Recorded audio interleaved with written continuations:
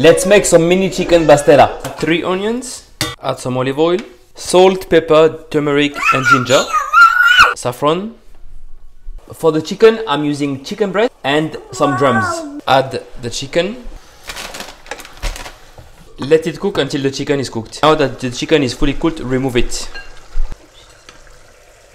Add the parsley into the sauce. Add some cinnamon.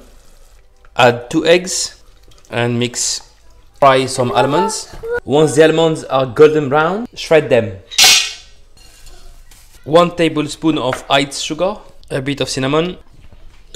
Time to shred the chicken.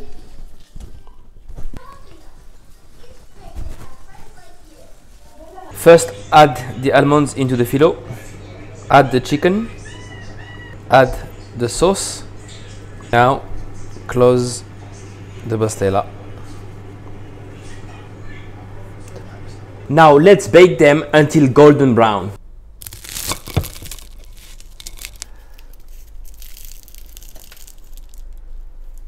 Bismillah.